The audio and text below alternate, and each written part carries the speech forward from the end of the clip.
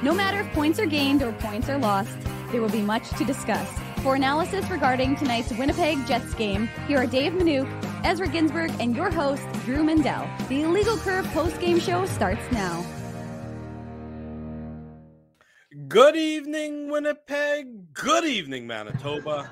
For all those joining us this evening on our YouTube channel and all of our social media platforms. We say good evening, universe, and welcome to the Illegal Curve post game show. I am Drew Mandel. As you saw there, Dave Manuk poking his head in, uh, literally, sort of like a, like a groundhog. He's downtown in Winnipeg, cat watching overtime between the Manitoba Moose and I believe the Grand Rapids Griffins, if I'm not mistaken.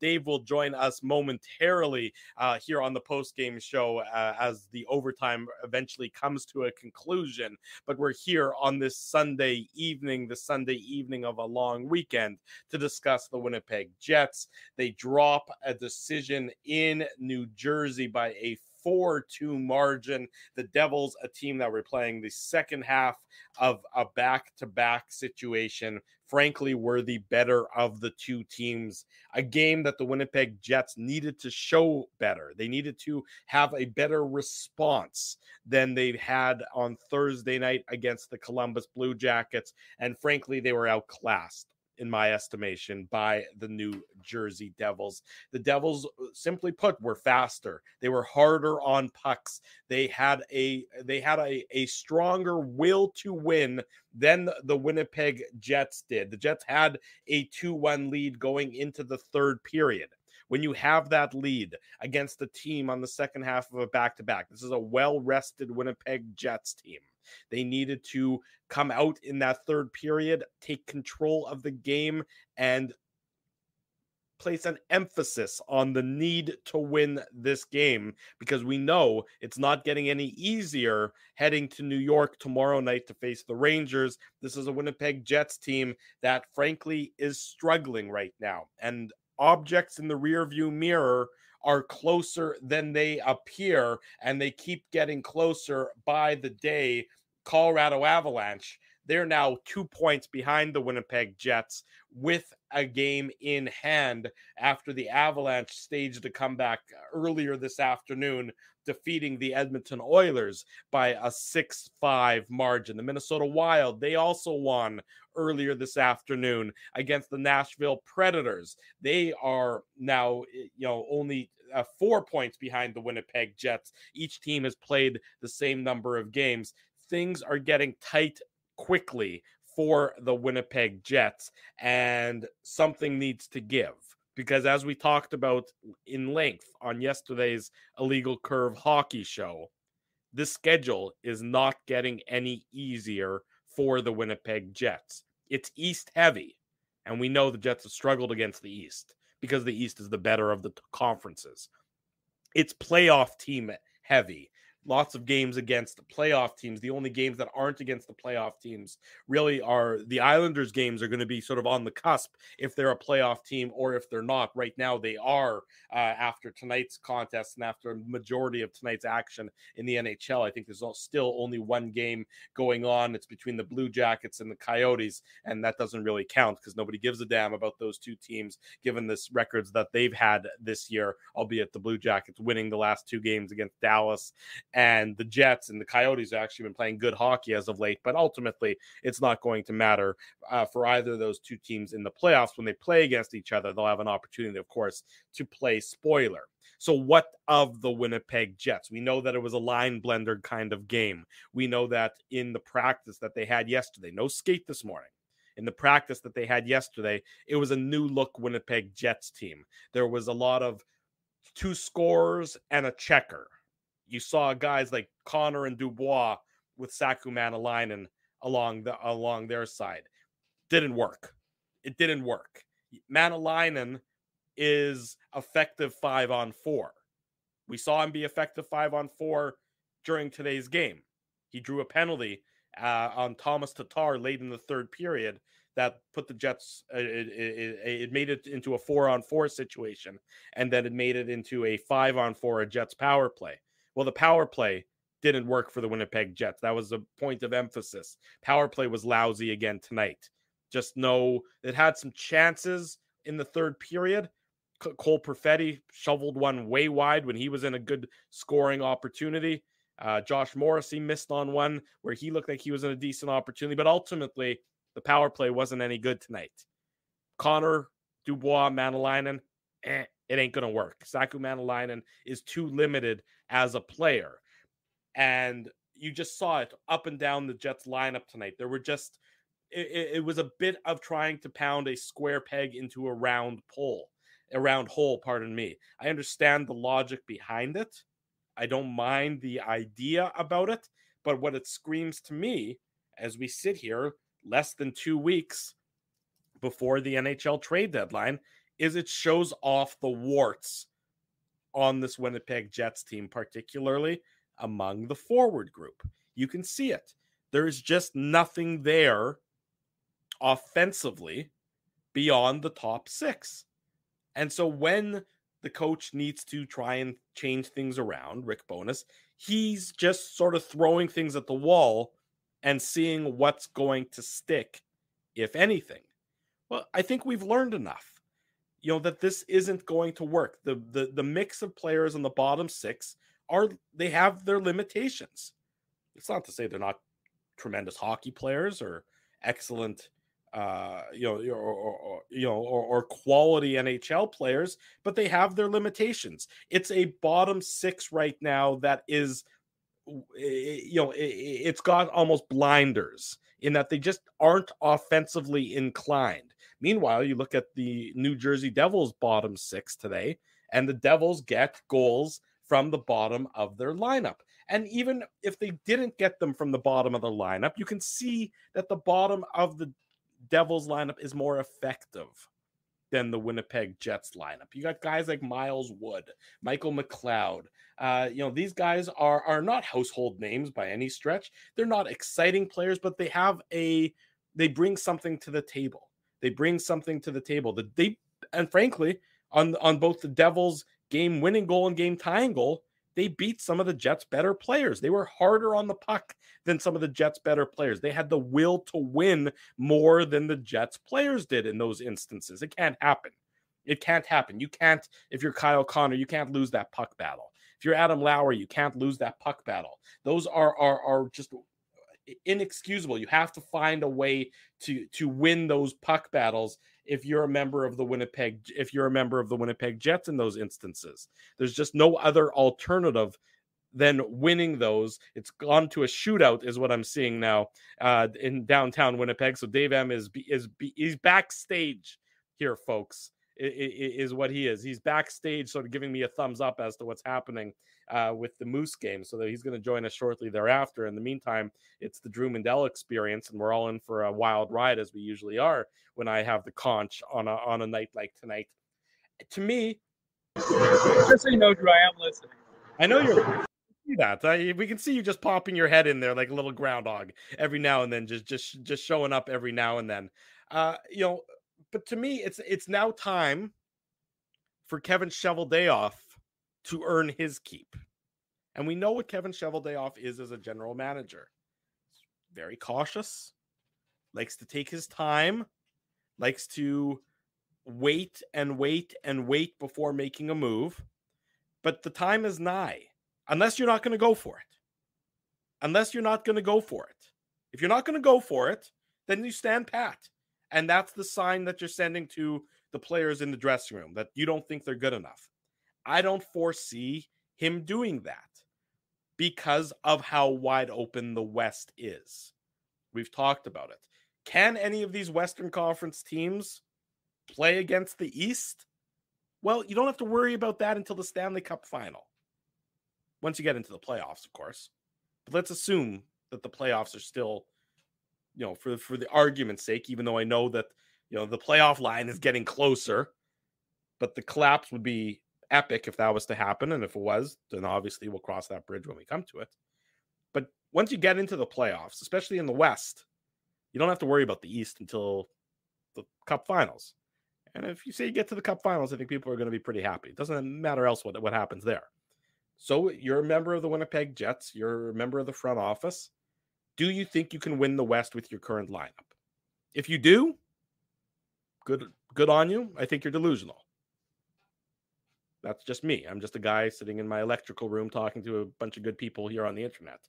But I don't think this Jets team can win the West. I just don't. They're, they're, they're too limited in, in, in too many areas, particularly up front. And I know the argument about the back end. Neal Pionk had a great game tonight. So Neal Pionk, who's been the victim of a lot of slings and arrows and everything else uh, as of late, deservingly so. He hasn't had a great couple of years. Good game to him for tonight. Goal and assist for Neal Pionk tonight. You can't take it away from him. You can't criticize him when he when he you can't criticize him when he doesn't have it and not praise him when he does. He brought it tonight. He was a good player for the Winnipeg Jets. Does Kevin Cheveldayoff believe in the rest of the this team that they can make a run as currently constructed? I don't think they can. I really don't. You just look at the teams that are near them, you look at the teams that are elsewhere in the West, the way they currently are. There is Dave M, a hathless Dave M, so you get to see the wild uh, fro in action. You know, uh, you know what I was saying, Dave, and I know you could hear me. As I was saying, you know, when does Kevin Cheveldayoff have to strike now? You know, it's now less than two weeks before the trade deadline. The Jets are currently in the in a struggle, and they have been struggling for a lot since the new year. This has not been a great hockey team. This has been a average at best hockey team, I would say. So when do they jump on a, a move to try and inject some life into this team that has been average at best and missed another golden opportunity tonight to keep the the, the braying hounds at bay is going to mute himself and a little bit of the background noise to go away for a second there. Look, I, I agree with what he said there. So it's it's now incumbent. Look, Rick Bowness uh, has I think squeezed all he can out of this team, and this team has had a a good season up to this point. You know they and it's not to say that this you know that the panic button necessarily needs to be pressed because you know they are still in second spot in the Central Division. So it's not like they're you know out of a playoff spot and you know uh, uh, teams are passing them. So let's again keep perspective about it because if that happens, then it's then it would be time to actually go ahead and, and, and say that. So let's keep some perspective. But you know the Jets are still in second in the Central Division, but it's clear that they're not good enough as constructed to be considered among the best of the West. I mean, in a seven game series or in a playoff battle against some of the other teams, against Colorado, and I know, you know, Colorado has been injury riddled all year. Drew, and... sorry about that. My mic wasn't actually connected. So that's why oh, everybody's oh, saying my sound was so bad. And I was like, I didn't, I didn't actually see the comments. So then I'm looking and I'm like, what? What do you mean my sound is so bad? Then I just realized that it was reading, it wasn't off this mic. It was trying to pick it up off the computer. So my apologies to everybody. You know, usually I'm at home the sound is down. There's no music you have to deal with. So hopefully, I'm. How am I sounding now? Can you hear now, me all right, Drew? Yeah, now you sound great. Now all right. Sound, I'm all right. That, I'm thrilled that you don't have uh, that you weren't aware that you didn't plug in fully, but that's no, no, no, no. I was plugged in, but you know sometimes with the settings you have to change it uh, to uh, the AM PM. You got it. It's the old AM PM, Jean Paul. It was the yeah. old AM PM. So I apologize to everyone who was complaining about uh, who were complaining about the sound that I was coming through not very clearly. I will edit it in the podcast so people won't even have to hear my little soliloquy. Continue. There you go. Fair enough. Uh, update uh, from NH from Jets head coach Rick Bowness. This courtesy of our buddy Mike McIntyre, who of course is on the road. Uh, there is no update on Nikolai Ehlers. So the update on Nikolai Ehlers from Rick Bowness is that there is no update, uh, no news about any potential injury and or availability for tomorrow.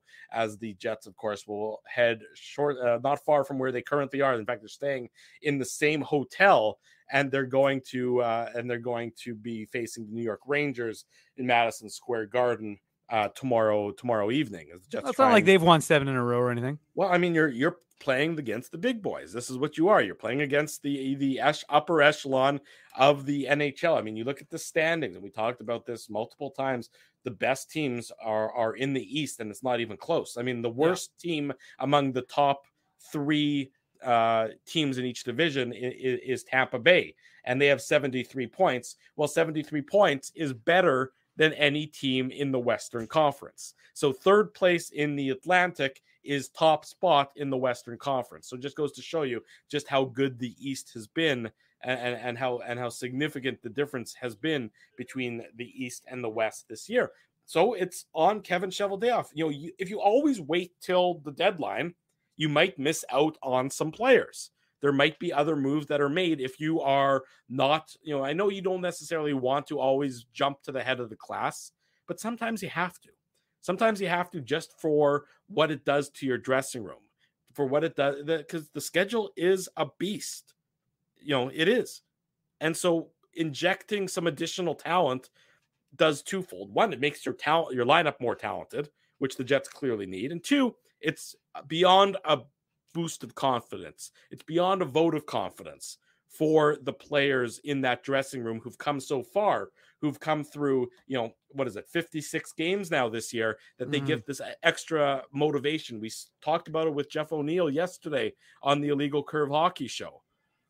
You know, that we talked about it yesterday about what it does when you go out and acquire players like that.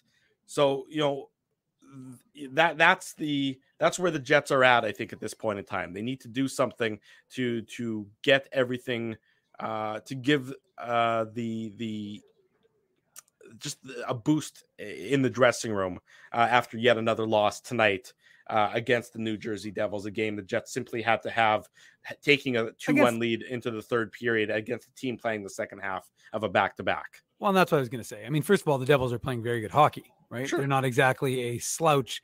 Uh, you know, despite the fact that, like you said, I was going to mention that they did play last night and won in Pittsburgh, I believe. So the mm-hmm. Devils five are, two, I think, in Pittsburgh last yeah, night. yeah, won. so the Devils are rolling as well. But you're right, Drew. I mean, it's it's we talked about it with Jeff O'Neill, and that was the other point I was going to make that you you pointed. But I'll reiterate it because I think it's important. I mean, that is the idea that boost in the room.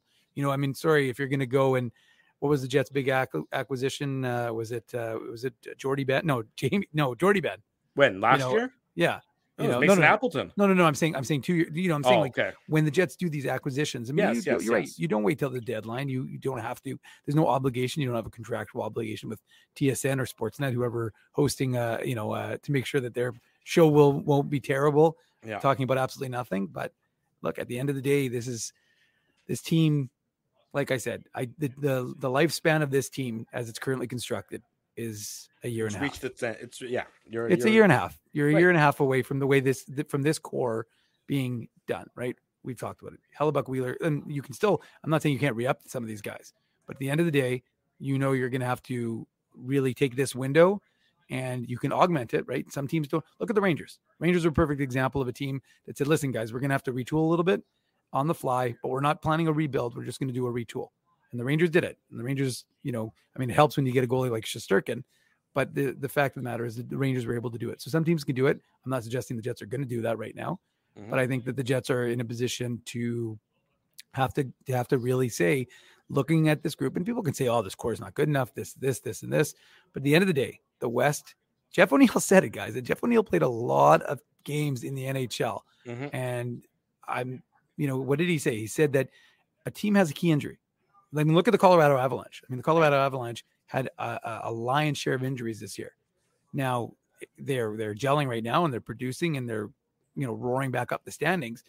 But the fact is that one team has one or two injuries, or a couple of teams have a couple of key injuries, and you know we've talked about how weak this Western Conference is. Yeah, I mean the Jets aren't. It's not uh, with with a goalie like Connor Hellebuyck the Jets and a couple of moves. I mean, hey, maybe if Calgary's really going to move on from uh, Weegar, maybe you can get a nice little right side uh, well, Mackenzie I mean, Weegar. I'm not saying that they're going to, which would be insane if they actually did. But you know, you're hearing rumblings in Calgary. Mm-hmm. I suspect they won't. But but ultimately, you know, maybe you do something that helps augment the right side of your of your D, push everyone down a, a, a section, and again, like I said, add some some wing depth to the, help this team out because I know people are saying this team isn't going to get it done, but I, I, just don't think it's very realistic to suggest that Kevin Cheveldayoff is going to do anything. I'm not saying he's going to go big game hunting and get Timo Meier, but I don't think he's not going to do anything because he right. wants. But you have to do it. Uh, I think the point is you you can't always wait. You can't wait till March the second. Oh yeah, for sure. You can't wait till March the 2nd. You wait till March the 2nd, the way this team has been playing as of late. Pardon me, March the 3rd. That's when the trade deadline is, the Friday. Right, Friday night. Uh, yeah. Friday night. The Jets play a back to back third and the fourth. They play Edmonton and Edmonton back to back. If you wait that long, given the schedule that's in front of you, yeah, you you might be in more, it might be even more of a you right now you have a little bit of a buffer if you make that move and you try and you try and give the team a, a boost. It's it, you know it, it's not like the piano is fully on their back. If they continue to struggle like they have been, largely over the last month or six weeks, I'm going to say, you know they've been average. You know who knows where they're at come March the March the third. That's why I think time is of the essence in this instance. It's now is the time to try and get it done if you're going to do it. Waiting to dead for the deadline is is nice and good and, and everything else. Oftentimes, I understand why that is. It's a business practice to deadline hunt, and it usually can be an effective one. But in some instances, you can't necessarily wait right up until the deadline.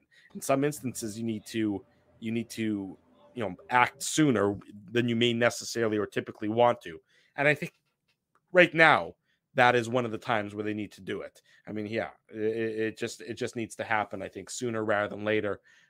I don't expect it's going to because you know the best indicator of of of, uh, of future behavior is, is, past behavior, and Kevin Cheveldayoff doesn't usually defer from uh, or divert from his from his course of action. But now would be the time I think to do so, in, in my estimation let's get into the game recap. Uh, 25 minutes into the post game show. Uh, this is Bet the Betway game recap is of course brought to you by Betway, one of the most trusted voices in sports betting, both in Canada and all around the world.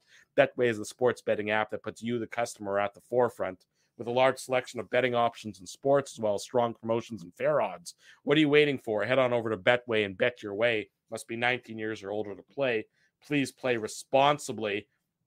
It's back and forth start to the first period. The Jets were did not get very many shots on goal. They only had six shots on goal in the entire first period. But for a while there, that was only one shot on goal until Cole Perfetti at the 1457 mark of the first period gets the Jets on the board. It's his eighth of the season assist to Mark Scheifele and Neal Pionk bodies in front of the net is what we heard ad nauseum over and over and over again. But this is an instance where the Jets had more bodies in front of Mackenzie Blackwood than the Devils had defenders. And as a result, the puck comes onto the, uh, Cole Perfetti's stick, and he's able to uh, go up top and beat Blackwood to give the Jets a one nothing lead. This is what they had talked about in the pregame and lead up to today's game, and they executed it. And it's one nothing for the Jets at this point in time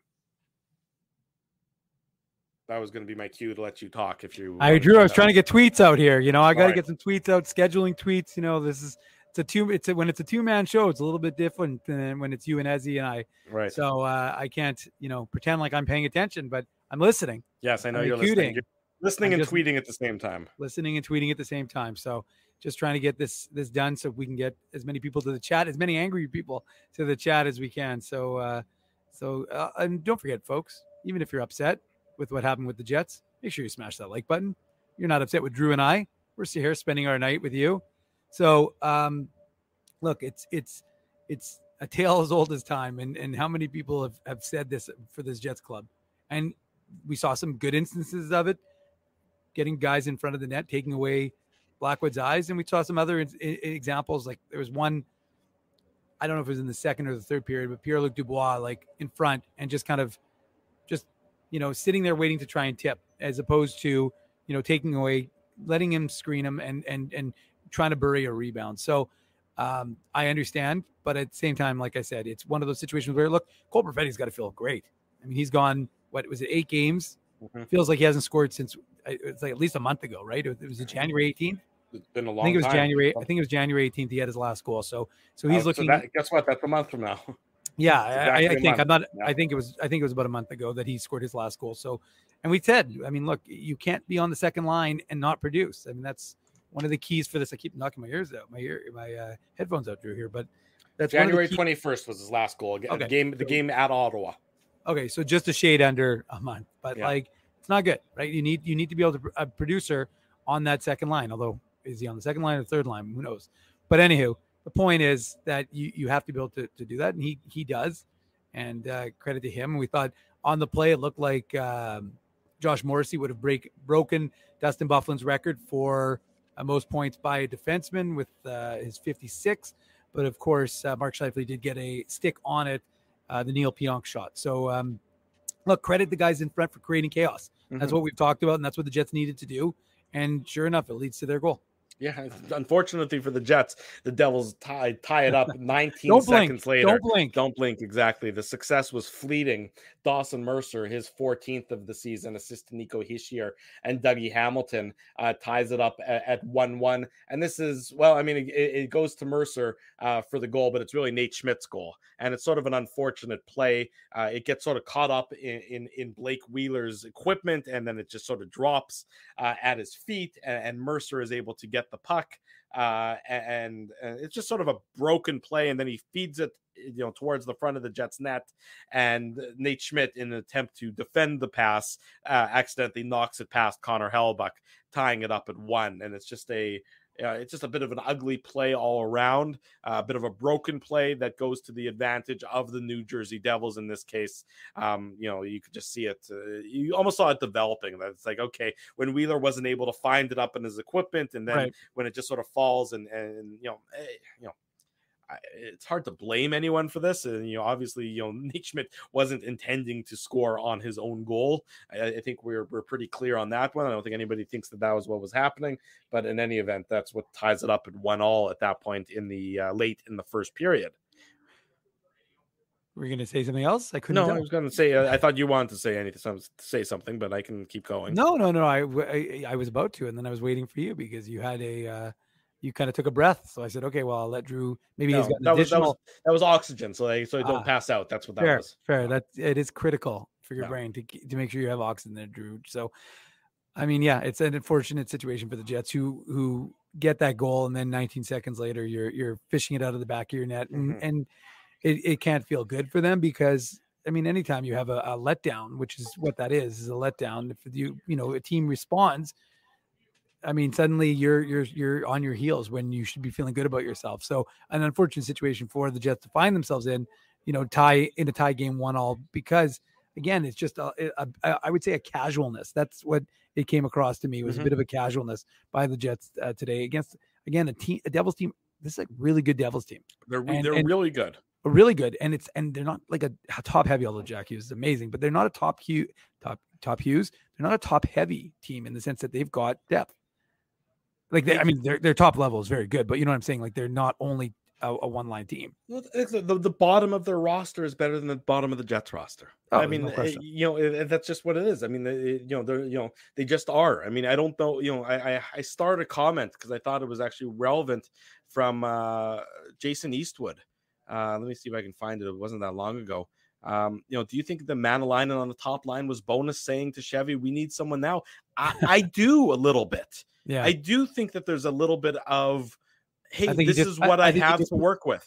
I think he just played ice hockey as a kid, and maybe he knew that you know sometimes you put a couple of couple of a, a, couple bruiser. a couple of skinnies with a fatty, you know, like I think that's what he was thinking. Well, you know, I, I don't. Th- I mean, look, I, I it, you know, Rick Bowness has been around this league for a lot longer than than and, and knows more about hockey than I'll ever, or has forgotten more about hockey than I'll ever know. But yeah. I do think that there is an element of him saying, "Look, this is the roster that that I currently have to work with." And sure, I could call up uh, Jansen Harkins, or sure, I could call up uh, Axel Jonsson Fjallby. And depending on the status of Nikolai Ehlers, you might see a call up of that nature uh, for tomorrow's game. Uh, of course, Sam Gagner is still in the press box, but you can see, you know, that I do think that there's an element of saying, look, you got to give me some more. I, I have mm-hmm. squeezed all the lemon juice I can yeah. out of these guys. I need a I need a new citrus uh, to to be able to to to be able to make some juice with. Drew's so, going to Florida. Yeah, yeah, I'm torturing an analogy is what I'm doing. Yeah, How much I can say that I can say that for sure. But I do think there's an element of, of, of Rick Bowness sort of waving the white flag and saying, "Hey, it's time for that injection of, of talent. It can't wait until March the 3rd. Um, whether or not that's going to happen, I don't expect that's going to all of a sudden happen overnight tonight. I don't expect yeah. that all of a sudden it's going to be like, you know, he's going to be calling up, panicking or, or running around. But I do think there's a, definitely a little bit of a, a sign to the general manager throw me a bone. We need a little bit of, we need a talent infusion here uh, because what we currently have is lacking. Uh, one all at this point, late in the first period. The Jets take a 2 1 lead uh, before the period's up. Neal Pionk, as I mentioned, he had a good game. This is uh, a, a, shot from the point uh, that really just beats Mackenzie Blackwood. There is some some uh, bodies in front.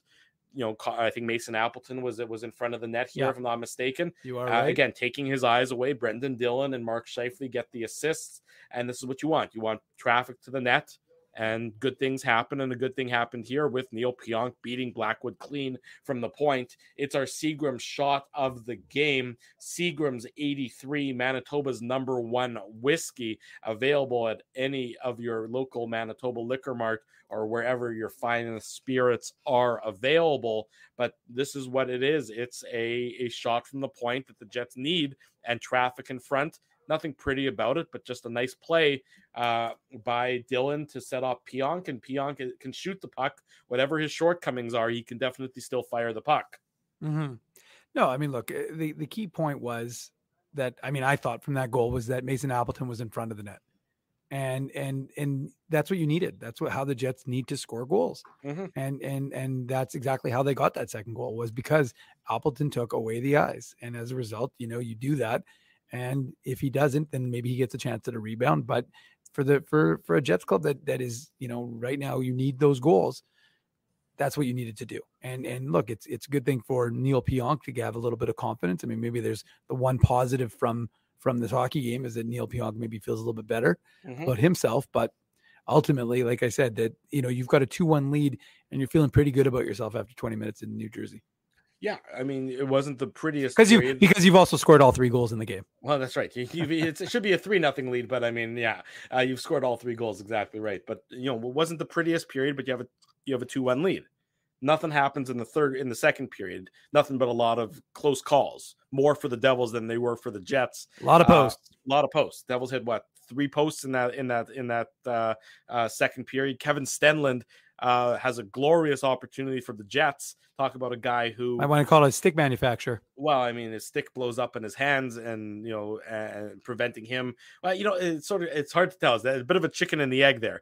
Did the stick explode, and that's what caused him to miss the net, or did he miss the net and then the stick exploded? Uh, it sort of looked a little bit that he missed the net first, and then the stick sort of blew up uh, afterwards. Whatever it was, it was a missed opportunity because a two-goal lead in this game it would have been a huge one for the Winnipeg Jets uh, and had the you know the Devils were obviously snake bit for a little while. They're getting three posts uh, in the second period, but after 40 minutes, and this Jets team has by and large been a pretty good team when leading after 40 minutes. They did have that 2-1 lead, despite being what I would say outplayed, uh, you know, by the New Jersey Devils for the most part. Yeah, and and again, you're sitting there and you're thinking, okay, well, we just need one more period. And, and look, this is an important win for the Jets. Mhm. You've got a team, a, a Devils team that, like I said, they've been very good at home. They've been very good overall this season, but they did play last night. Right. And you, you're thinking, okay, their legs. Remember, we always kind of talk about that. You know, players will say, well, it's great in the first period, not so good in the third, or they got rid of all the, you know, lactic acid in their legs, so now they're good for the third. But regardless of the way the Jets look at it, or the Devils, or whomever, it's a two-one lead after 40 minutes, and and you know you've got an opportunity to kind of erase how you feel about that Columbus game. And and again, like I said, it's not like they played. I mean, the funniest part about the Columbus game, it was a point I wanted to make. Look at what Columbus did over the, and not forget about their game against uh, Arizona. I think they're losing two nothing uh, right now against. Is it two nothing right now in that game? It's 2-1 now. Two one. Okay. 2-1, yeah. But but the, but the fact is that like their last four games. Mm. just just just to just to keep it into perspective, because I think it's important to to know because everybody's losing their minds. Remember, the Jets dominated, say, the first and and third periods. They just didn't have a great second, but the the Jets, the the Jackets beat the Leafs, the Jets, the Stars, and lost to these same Devils by one goal. Yeah. So I, I mean, again, They're, they're playing, that they're playing spoiler. Yeah, but I'm saying like they, it's not like you lost. I, I know they're the 32nd ranked team, but they again they beat some other good teams. Like the next night or the night after, they beat the Devil, the the Stars four one, right? Mhm. So so it's not you know it's worth noting. I, I guess I should say. So you're through the Jets, you're feeling good about, relatively speaking. You do you know and, and what's his name? Uh, Korpisalo was excellent in that in that in that win for Mhm. Columbus.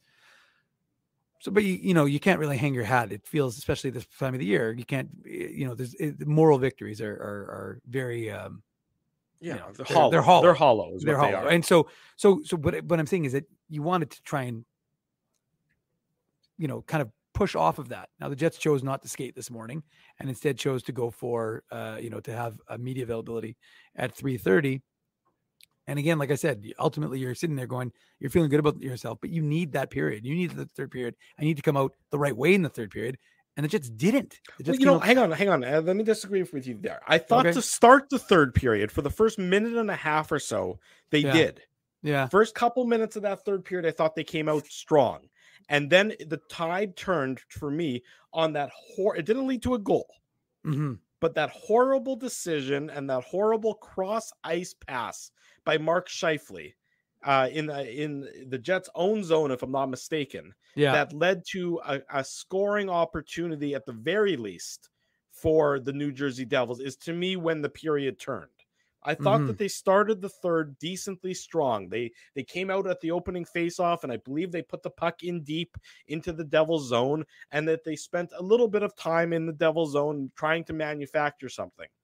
Ultimately, it didn't man the, nothing was manufactured as a result, but it's how they wanted to start the period for at least the first 90 to 120 seconds. And then Yeah. when Scheifele made uh, uh, uh, that goofy play, a goofy decision, Mhm. you know, and it didn't lead to a goal. So I'm not saying it was the reason that, uh, you know that they that they lost or anything like that. Yeah. yeah. But but it was just from then on is where to me it looked like the Jets were on their heels. That to me was the the the, the point in the third period where New Jersey started to take over.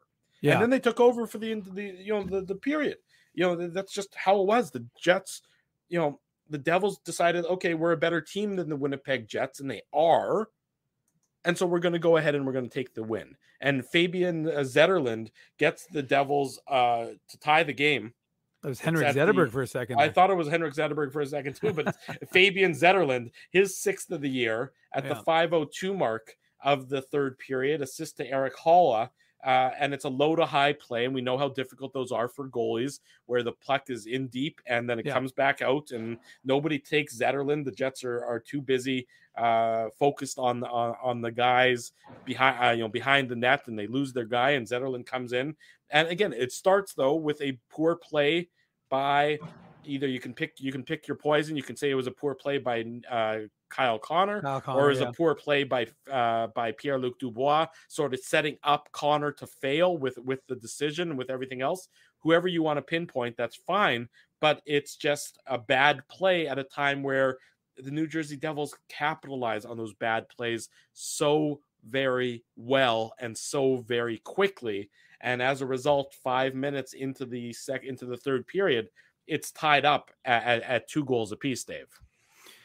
Yeah, and and you can feel the momentum shift, right, Drew? And whether it was you know a minute and a half, two minutes into that third period, or wherever it was, Mhm. the fact is that the Devils, which shouldn't make a lot of sense given the fact, like I said, that they played last night, were the team that was coming on. And we're the and look, we're talking about what are we talking about? We're talking about a healthy Jets club. Yeah. We're not talking about. A, we're not. Remember, this is there's no there's the excuses are gone, right? This is no longer a Jets club that is dealing with seven players who are injured. Mhm. This is a healthy Jets team, with the exception of David Gustafsson, who's in a non-contact uniform right now. Right. So uh, there's there's really no excuse not to, and you know how desperate this is. Like you know, look, it's a murderer's row of teams that you're playing, right? The New York Rangers, the Islanders, or whatever. But and then you've got playoff Colorado. team. Yeah, they're mean, a playoff we- team. You know, we say the Islanders or whatever, uh, and, and you know they're not they're not going to be one of the better teams in the East. But the Islanders have 63 points. Last time I checked, the Jets have 69 points. So it's not like the Islanders are that much worse than the Winnipeg Jets are. No, no, and again, I'm just saying that the Islanders have been up and down, similar, Right, to, a little right. bit similar to the Jets. They've been up and down, but I'm just saying that. So you've got an Islanders team, but they're not like the Rangers. No, like the Rangers not- are, not the are Devils. the Rangers, the Devils.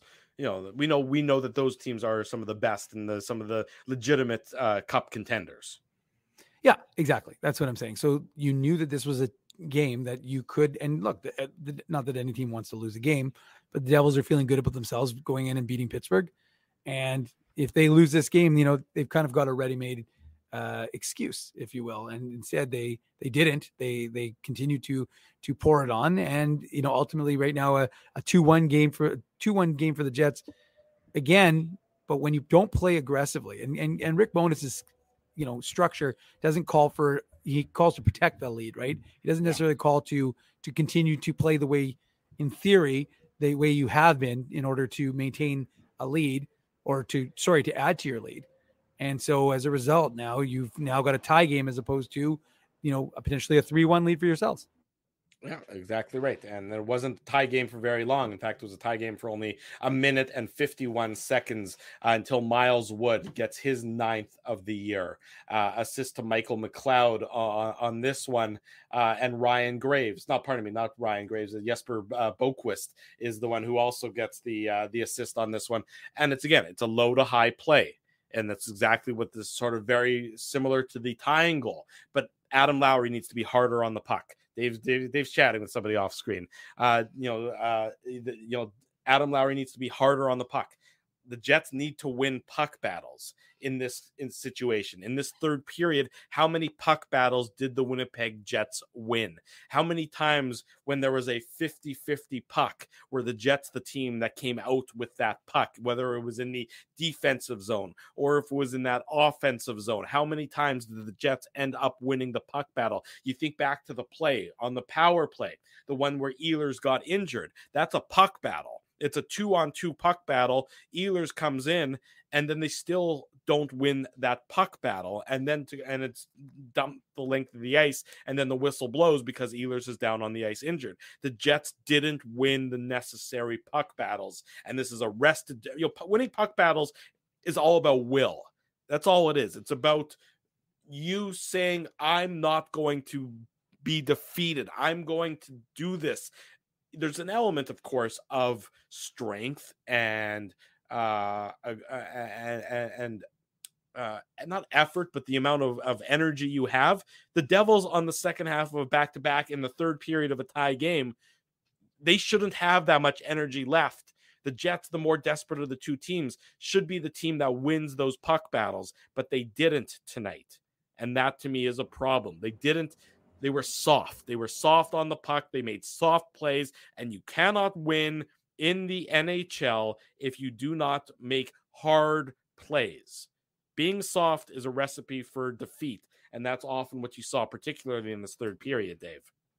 Yeah, I'm just muting myself in case the sound from the Zambonis is being picked up too loudly. If it's not, let me know, Drew. But you're fine. Um, Go ahead. No, I was going to say like the, the perfect example of it was Adam Lowry coming through the neutral zone and you know there I didn't remember what Devil player came behind him and just stole the puck out away from him. And it's just too slow, and it wasn't decisive enough. And mm-hmm. that to me, I think was, and I saw the I highlighted the comment earlier in the show, but that was it's true that the Devils were played fast. The Jets didn't. Jets played a slow game, I thought tonight, and I think I, mm-hmm. the Jets can't win when they play a slow game. This Jets game is predicated on speed, and so if you're going to play slow, you're not going to have a lot of success. My impre- my my thoughts. And so that's one of the things the Jets needed to improve, and they didn't throughout the course of the game. And as a result, you know, they were they were they were standing around a lot. I thought, and so yeah, I mean, uh, suddenly, uh, like I said, you said, Drew, a, a two-one lead, and you're sitting on it, and and instead it becomes a two-all game. That's right. It becomes a two-all game, and the Jets, and then it becomes three-two. So it's three-two at the six fifty-three mark of the third period. Okay, the Jets get two power play opportunities albeit one of them was an abbreviated power play. But Miles Wood takes that cross checking penalty in the offensive zone. Tomas Tatar takes that hooking penalty on Saku Maenalanen when the Jets were shorthanded, turning to a four on four and then a Jets power play. How do the Jets take advantage of these opportunities? The new look revamped power play, not necessarily a one and a two, but a 1A and a 1B. Well, it's more like maybe a 2A and a 2B or a 3A and a 3B because the Jets don't take advantage. They get a couple nice setups, as we talked about, or as I think I talked about earlier. Cole Perfetti uh, just shanked the shot. I mean, that's about as, as, as you know, it's, you know, you, you, sometimes you shank a shot in golf. You know, sometimes uh, good players in the NHL shank a shot. They didn't need a shank there. They needed a, a shot that they needed a shot that was going to be within uh, kick in birdie range. Unfortunately, it didn't happen there. Josh Morrissey, he had an opportunity. He doesn't get all that he wants. And then the four, you know, the, the abbreviated power play, the five on 4 one was even worse. There's just right now the Jets just don't seem to have any connectivity. There just doesn't seem to be any sort of conduciveness to how the Jets are going about their their their play, especially on the power play. Uh, you know, it just it's a struggle. Everything right now is a struggle for the Winnipeg Jets.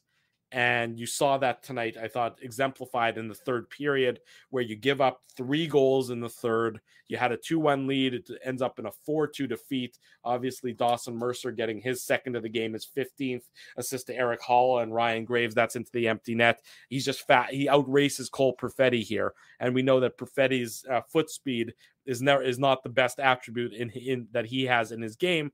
And Dawson Mercer, admittedly, he had a bit more of a head start, or he had sort of was uh was you know wasn't uh, starting from standstill, and that helped him in in defeat in getting to the puck before Cole Perfetti. But he does, and he puts it into the empty net, and the Jets lose tonight four two. Dave.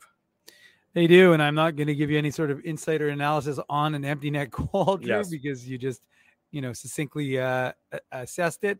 But ultimately, look, this is a game the Jets, you know, really couldn't afford to lose. Obviously, they could afford to lose it, but as you said during the Drew Mandel experience, which Mhm. I was keenly listening to while watching overtime and uh, and the shootout.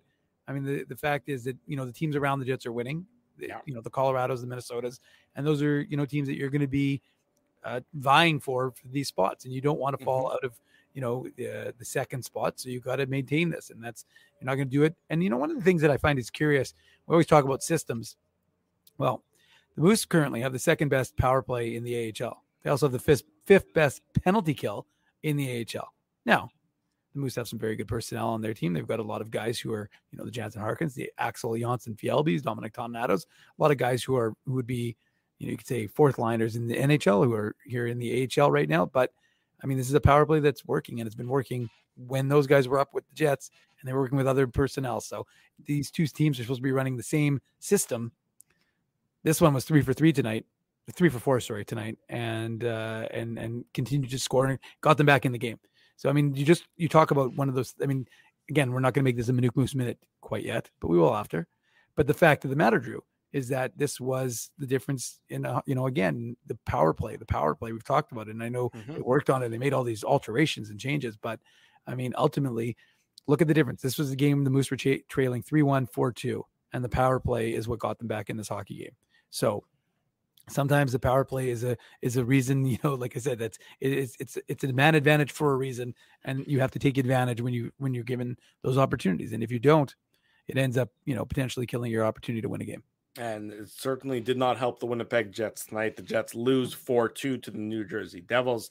The team's struggle continues. They struggle to score goals, they struggle to put wins together. Five and five in their last 10, losers of two in a row, and it isn't getting any easier as they have the Rangers tomorrow night and the Islanders on Wednesday. When we come back, more on tonight's Jets Devils game. We'll do a Manuk Moose minute. Dave's downtown watching as he watched the Moose uh, lose in a shootout earlier tonight. Some contests to give away or some, some giveaways uh, as part of the illegal curve contest. Much more to come. It's a Sunday evening, it's a holiday long weekend. You have nowhere else to be, so stick with us. It's the illegal curve post game show. Drew Mandel, Dave Manuk, all of our friends were live on YouTube and all of our social media platforms. Jerry Seinfeld, Chris Rock, Jon Stewart, Dennis Miller, Brad Garrett, the biggest acts and all the up and comers. They've all made their mark at Rumors Comedy Club, North America's longest running independent comedy club. Rumors has kept Winnipeg laughing for over 25 years. When was the last time you laughed out loud? Make it a great night out with friends or book your office or birthday party, even a fundraising event at Rumors. Get all the details and dates on upcoming shows at rumorscomedyclub.com. He winds up. Looks like Ezzy took that one right in the choppers. A blistering fast puck hurts like HE double hockey sticks. That's why I let the pros at Linden Market Dental Center turn my yow into Wow. Get your brilliant smile back with state of the art restorative and cosmetic dentistry from real pros. and remember, always wear a mouth guard. Now that's solid on ice advice. Learn more at lindenmarketdentalcenter.com. Creating smiles for life. Whoa, Ezzy, everything okay? You look stressed. Of course I'm stressed. We're moving, the house is upside down, the kids failed miserably at packing the fine china, and my life is in chaos. Chaos! Yes, that does sound like a problem. What am I going to do? Ezzy, relax. Rolly's Transfer Moving and Storage is the answer. With 60 years of experience in moving Manitobans and a track record of exemplary customer service, one call to Rolly's and your stress is gone. No job is too big or too small, Just visit rollies.com and they will take it from there. Thanks, Dave, and thank you, Rollies Transfer Moving and Storage, online at rollies.com. Dave, my man, why are you in the car already? It's hours until game time. Uh, Drew, it's because I'm stressed out right now, driving around downtown Winnipeg looking for a parking spot, and I'm not finding one. I've lost Ginsburg. I don't even know where that guy is right now. Dave, haven't I taught you anything? Do what I do. Pre book your entire month's worth of game day parking with the Gryd Park app. It's super easy to use and saves me both time and stress. Well, Drew, I'm not independently wealthy like you are. So I'm sorry that I don't have millions of dollars to pre book my parking month in advance. What's that going to cost you? $25? How about five bucks? Come on, $5? No Yep. way. Five bucks. I'm not telling you a lie. And our listeners can get a free park with the new special promo code Illegal Curve. Guess what? There's more. Come there's more, Drew. You're lying to me. What more could there be? Gryd Park now has underground parking, so my car can stay warm during the game. So wait a second, wait a second. All all the driving around I do looking for parking, minus 40. You're telling me I could be toasty warm in a car after the hockey game. That's exactly what I'm telling you. Underground parking. Just download the Gryd Park app. That's G R Y D Park and use the code Illegal Curve. All one word. You'll park for free your first time.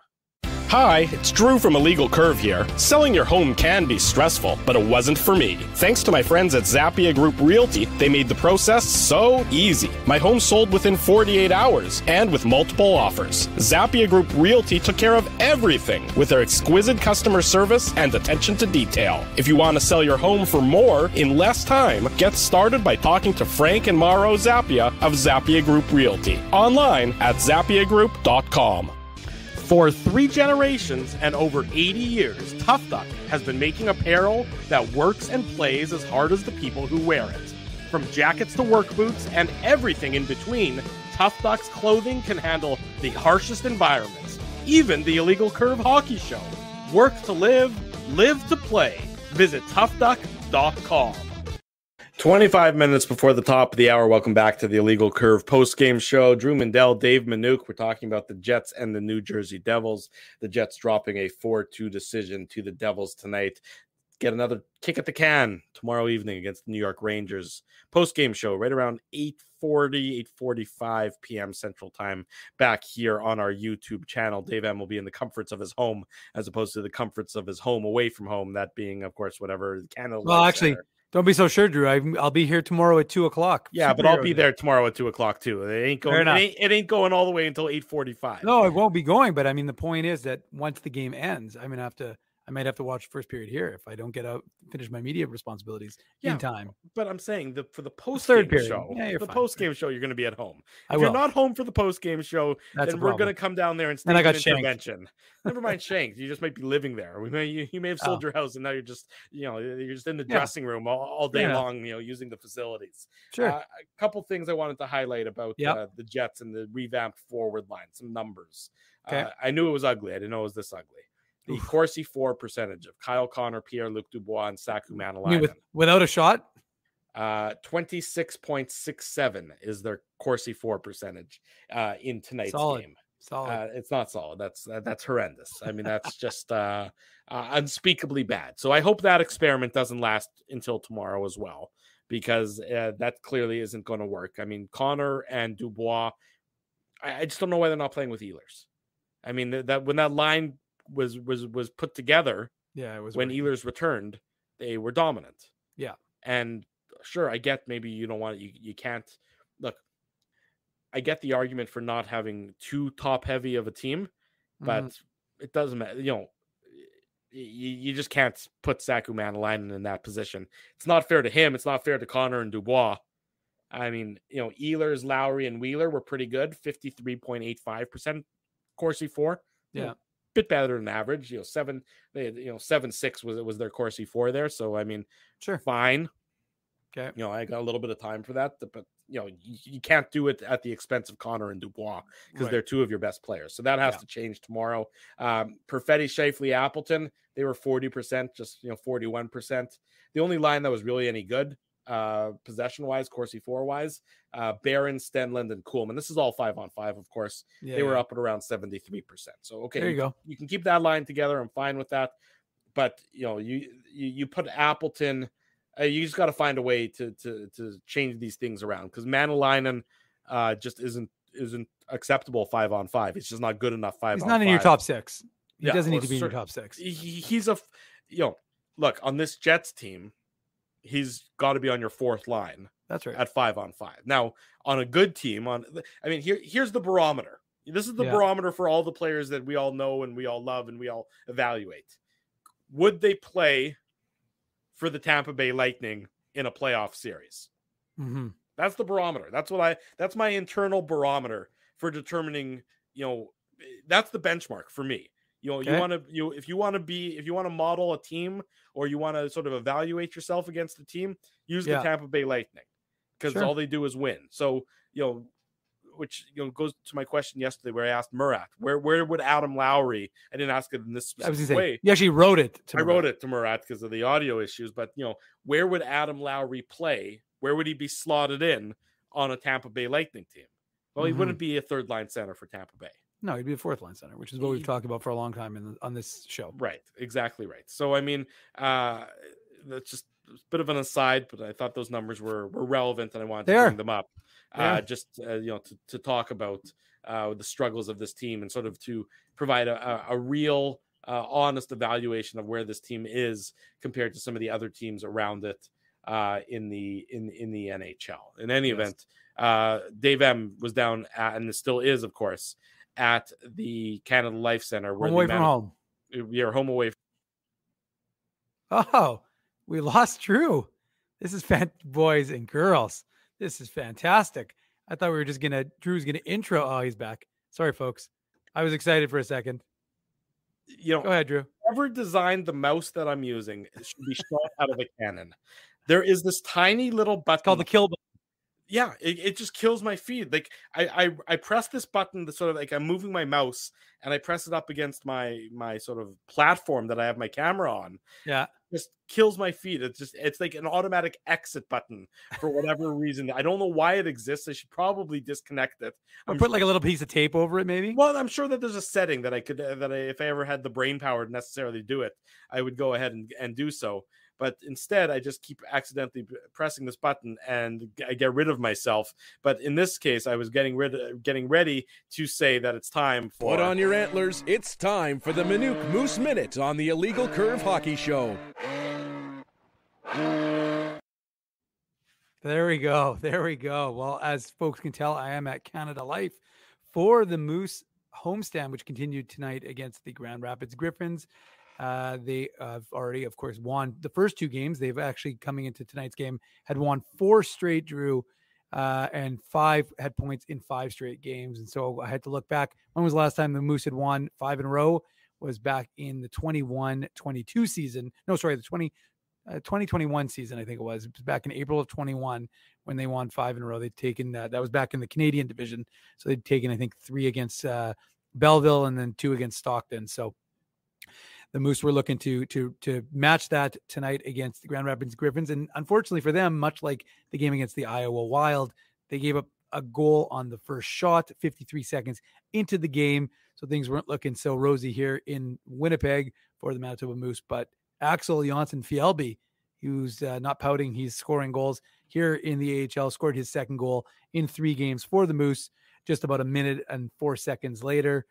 But for Manitoba, it was a short-lived tie game because uh, Grand Rapids scored two goals in quick not not quick succession, but one about three minutes after that to make it two-one, and then it was three-one with about five minutes to go in the first period, and that was all that she wrote for Arvid Holm. Mark Morrison gave him the hook. I'm not so certain as to whether I, of course, I didn't get a chance to go down and do media after the game, but I'm not Thank, certain. if thank it was you for sacrificing. yeah, I know. I was very. I was considering doing like a. I was actually going to bring everyone through with the my phone, and I was going to do it while maybe talking. If they, maybe if they had won. Yeah, if- had they won, I might have considered that, but because they didn't, I didn't get a chance to do that. So, anyways, the Moose were down three one, and it was gonna uh, heading to the almost heading to the second period. They had a late power play in the first period, and sure enough, Jansen Harkins, who's done nothing but score and produce for the Moose since he's been down in the AHL. He scores with one second left. I didn't actually think the Moose would have enough time to get this goal, but sure enough, Harkins scored uh, on a nice pass by the duo who always connect together, Leon Gawanke and Declan Chisholm. So it was a 3 2 lead for the Griffins going into the second intermission. And coming out of the second, you thought, okay, the Moose got lucky and now they're going to have to find their game.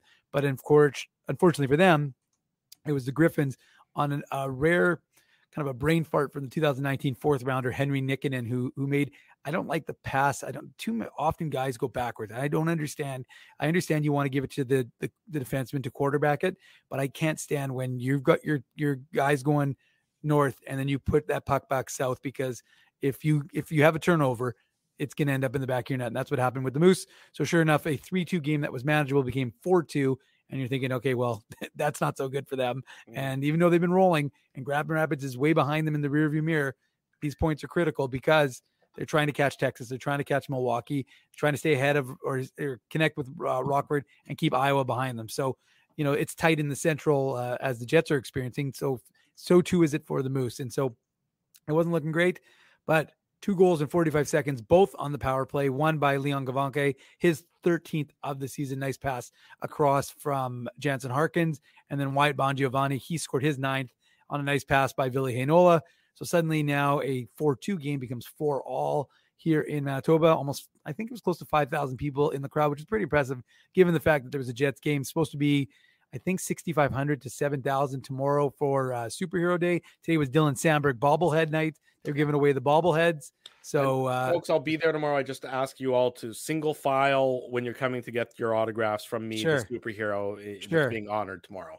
Fair enough. So that's what Drew's going to do. But anyways, so um, that's what uh, how it would end after the third. And I was like, oh man, I'm like I'm like watching it. I'm like, oh no, please don't go to overtime. sure enough, goes to overtime. So I texted Drew and I were chatting in the pregame just before we got underway. I'm like, well, Drew, let's just and then of course Moose took two pa- penalties, so they had to kill it. They had Jeff Malott had one at the end of the game that they had to kill into the overtime, and then Ville Heinola took one at the end of the power play at the end of overtime. Sorry, that the Moose managed to kill. So the Moose special teams was were phenomenal tonight. I think they were again they were three for four on the power play as far as I can remember, and they were I think they were they gave they were five for five on the kill.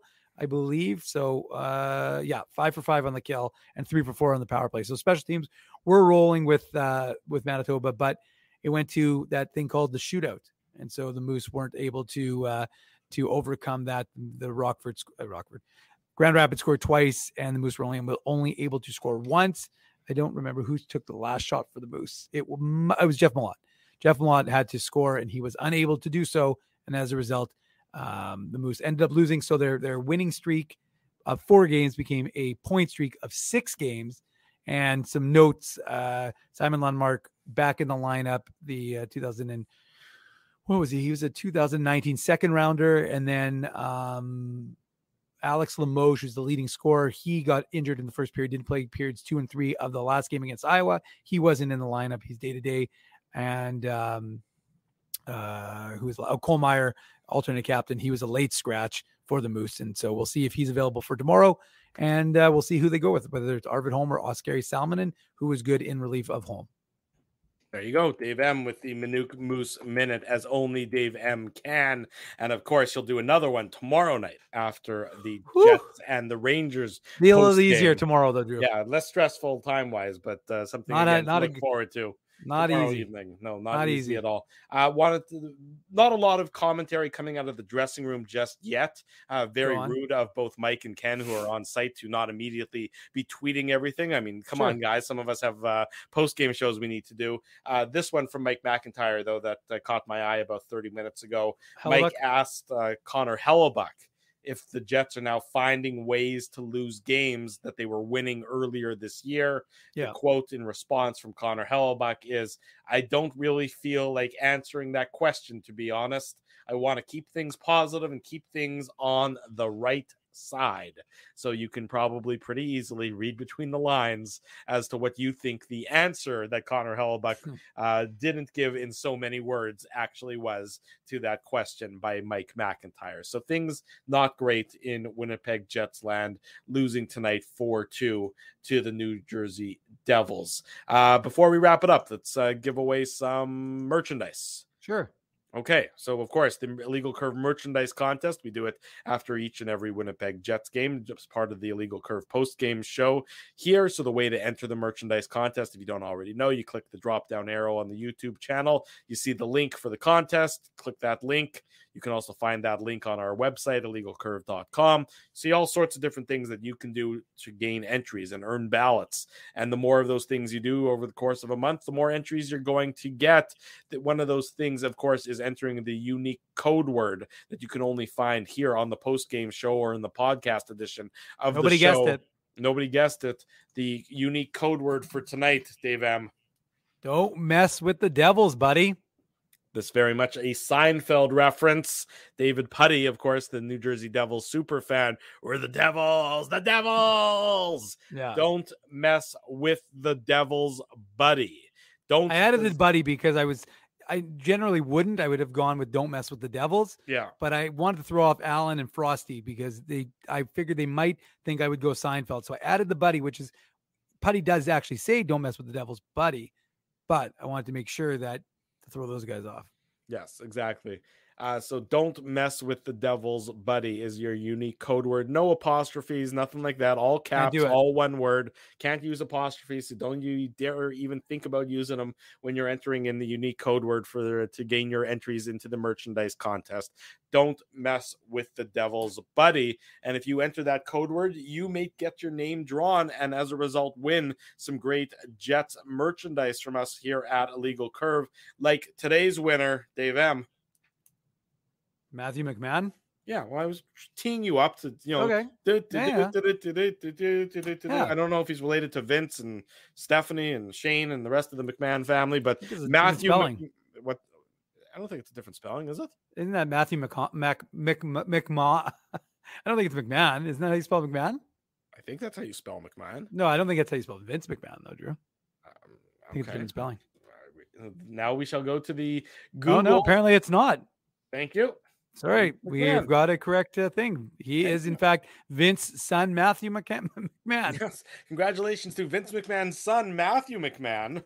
Uh, we're not sure about uh, fact checking that, but uh, hopefully you don't, anyways. Matthew McMahon, the winner of the Illegal Curve merchandise contest, uh, is uh, is the winner tonight. Oh, good. Roscoe is back. So that's pretty much a good sign that we should probably wrap up tonight's post game show. Uh, Roscoe's been in, in rare form. So many of you have been in rare form as well. In Make the sure you chat. smash that like button before you go home, There you go. Smash the like button. or I don't get to go home. Oh, I have Dave- to just stay here all night. all night long. You don't want that. Dave that's fine because there's another game in like in like tw- like 17 hours, so it's all good. Yeah, I know, but you you want to go home, and I think everybody else wants you to probably shower or Shower, else. yeah, that's true. Yeah, Good things point. of that nature. Cleanse yourself, sleep in a warm bed.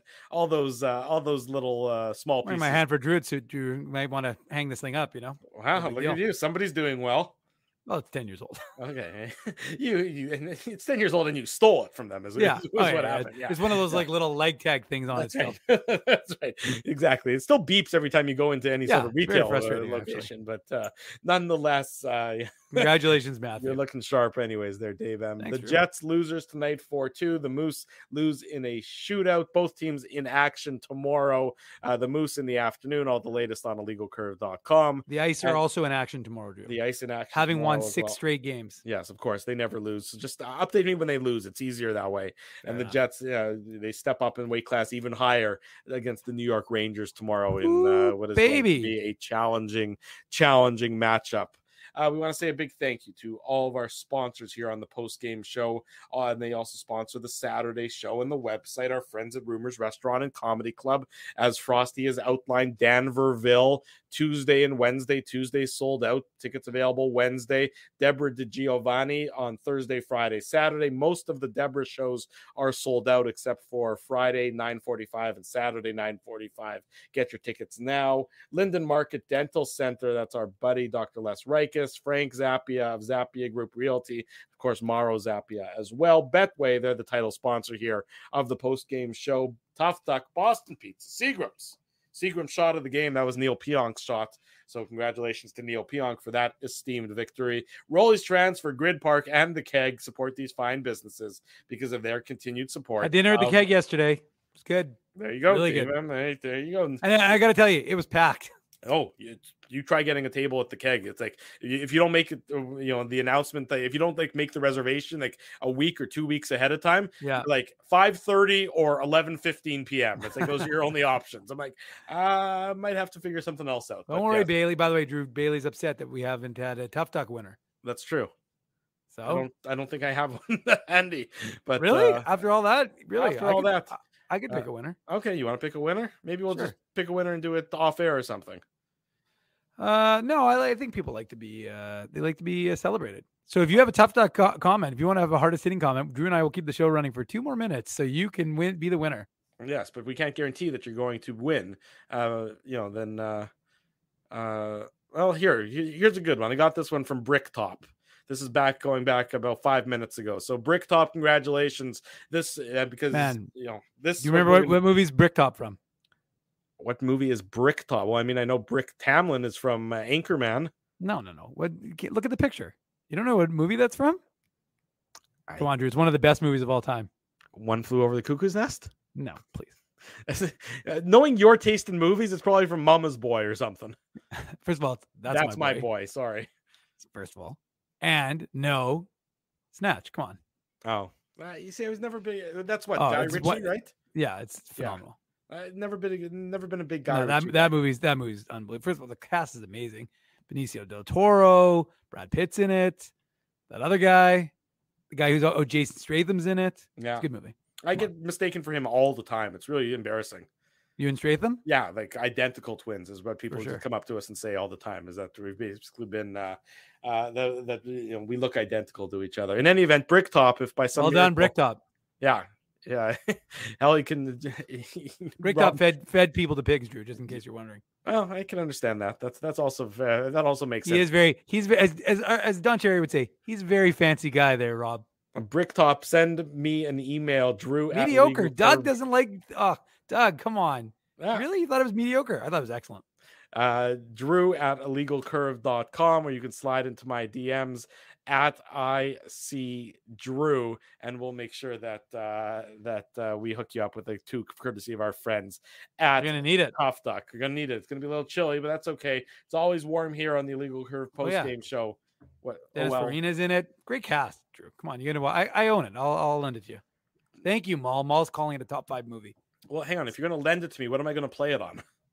I don't know. You can put it. Don't you have a DVD player in your uh in your laptop? No. You you have a CD-ROM drive in your in your in your laptop? No, not in this one, but I've got my old laptop. I could do it. Okay. Well, I mean, You I don't have a DVD player? Come on, Drew. I don't think we have a DVD player. Why would we have a DVD player? I have no idea. Maybe to mean- watch Snatch. Apparently so. So you, you have to, you're gonna have to lend me the movie and give me a DVD player. Other than that, I'll, I'll- I'll take a look at it. Well- uh, thank you to everyone. We're gonna see you tomorrow night. It's uh, the Illegal Curve post game show tomorrow night, right around 8:45. Until then, uh, you can always check out the website illegalcurve.com. Uh, smash the like button if you haven't already do, done so. Subscribe to the YouTube channel. Subscribe to the podcast tell your friends, tell your family the best place to be after each and every Winnipeg Jets game. And again, Saturday mornings is the Illegal Curve YouTube channel. For Dave Manuk, I'm your host, Drew Mandel. Thanks for joining us. This has been the Illegal Curve post game show. Thanks for listening to this broadcast from Illegal Curve Hockey. For more great Illegal Curve content, subscribe to the Illegal Curve YouTube channel, follow at Illegal Curve on Twitter, Facebook, and Instagram, and visit your online home for hockey in Winnipeg, illegalcurve.com.